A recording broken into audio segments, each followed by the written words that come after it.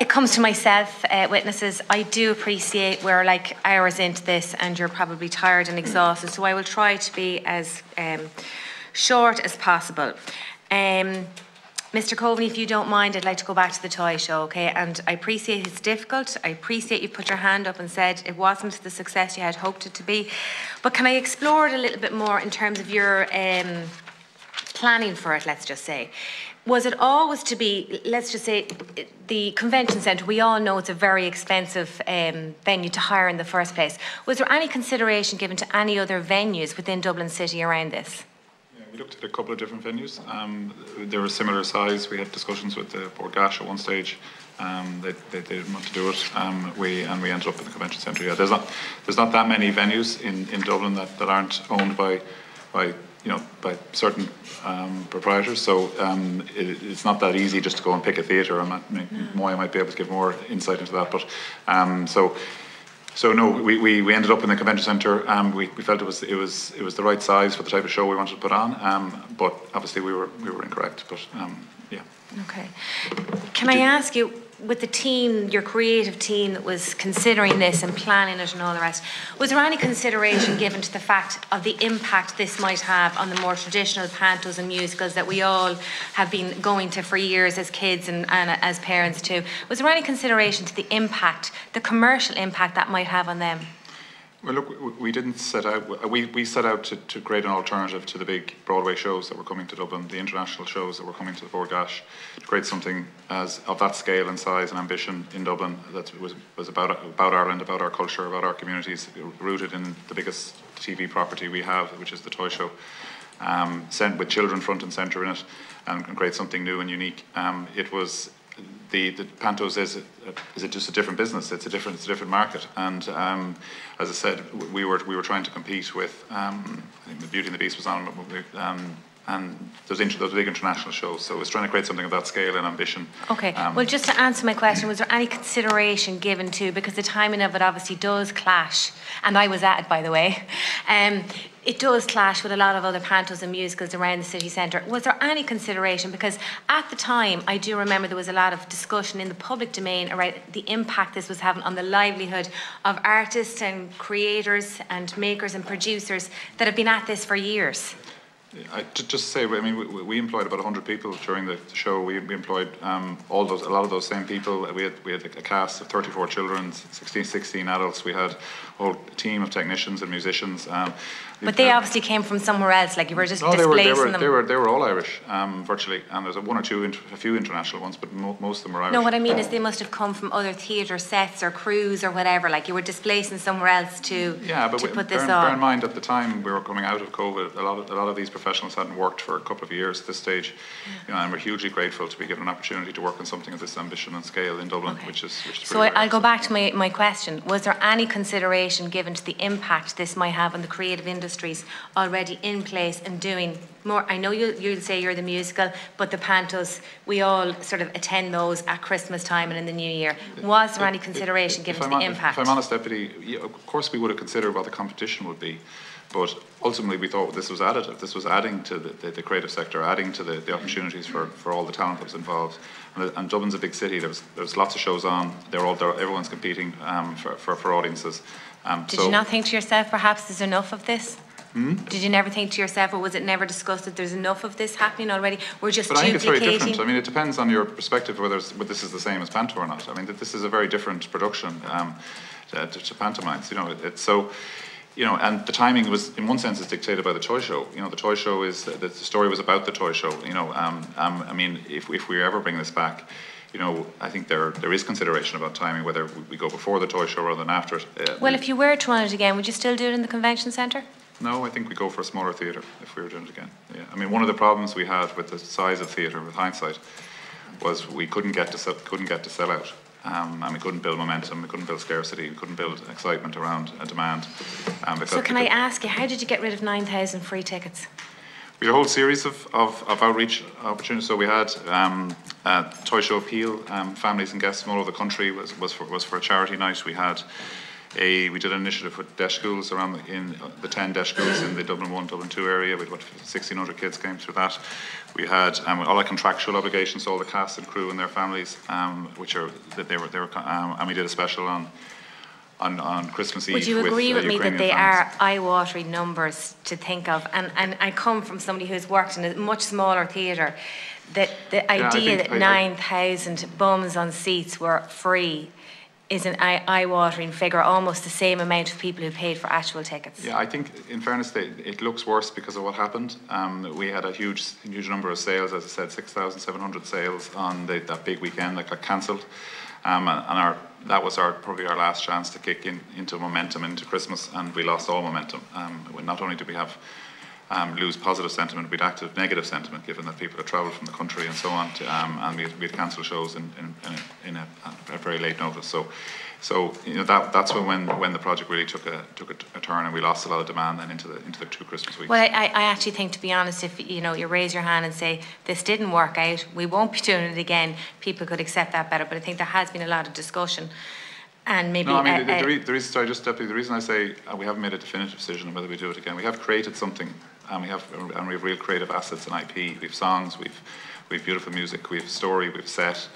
Um, you know, so I'm not, I'm not saying we, we'll, we necessarily, it'll be the same again, but there's a lot of assets that could be repurposed and, and reused again, which have value. So. Can I ask you what you meant by the um, comment you made there that there was no material difference to those type of losses to authority?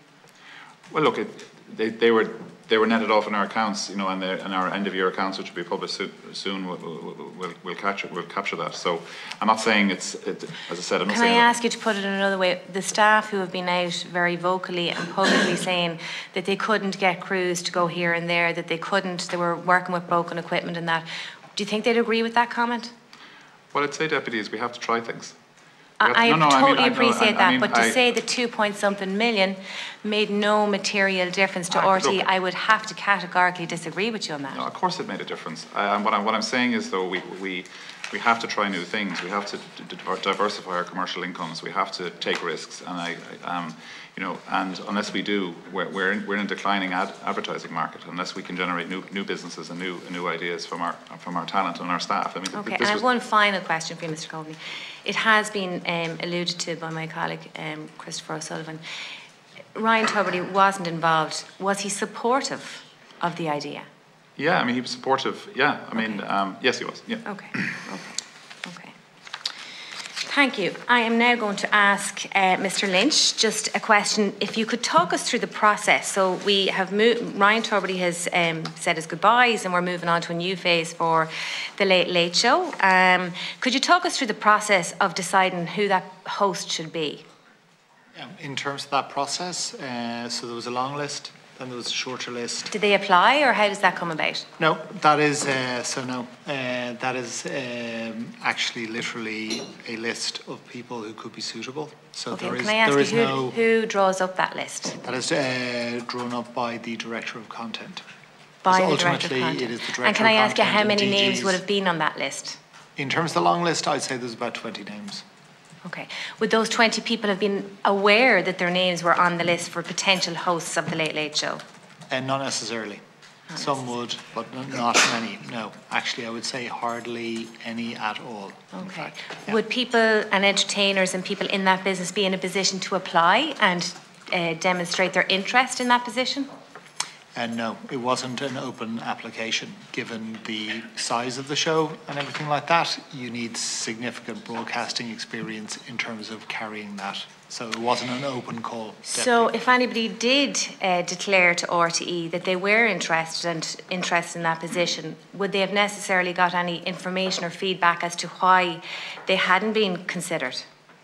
Uh, in terms of that, um, no, because it wasn't an open process with formal feedback that you might have in the case of, for example, if you're commissioning programs, there's an entire commissioning system that's set up and the program. And just to finish off on that piece, so what we're saying is it's a list of roughly 20 and that list is drawn up by the head of content. Correct. Okay. And from where does it go? Does it go across the executive to make that ultimate decision, or how is that decision made? So the Director of Content is responsible for the editorial output from the Content Division. The Director of News and Current Affairs is responsible for the output from News and Current Affairs. So it is their decision in tandem with the DG. Okay. And uh, we, as a committee, have asked questions around uh, Mr. Kielty's contract, and we've got furnished with some details around that. Can I ask you, who's going to, is the, the person, and I don't know who that is, the, the professional who directed the previous Late Late Show, going to continue in that role for the next phase of the Late Late Show? That doesn't sit within my division. What I do know is that uh, my understanding, and I don't know if they've confirmed it, is that a certain individual who has worked with Mr. Kielty before is going to be directing that. Uh, the individual who would have directed uh, Ryan Tubridy last year is doing a set of other things. One is a key uh, event that we're doing. So can I um, ask you, has that new, so we're saying that whoever directed the Late Late Show in the past is no, their services is no longer required. We're bringing in a new director along with Patrick Kielty to direct the new Late Late Show. Am I right? That's correct. Just to explain the person. And can I just, I just, because I have such a short time, I hope Okay, you can sorry, appreciate Deb. that. Yeah. Um, that person, that person, would they, uh, are, are they, are they, they're obviously incurring new costs. Is that a contract, contractual, uh, I would say in terms of multi-camera direction, and particularly in terms of big LNE shows, there is a limited pool because actually in Ireland we don't do that many of those type of shows. For example, something like Dance from the Stars, there is a UK director who comes in to do that, who has the necessary skill set to deliver something as complex.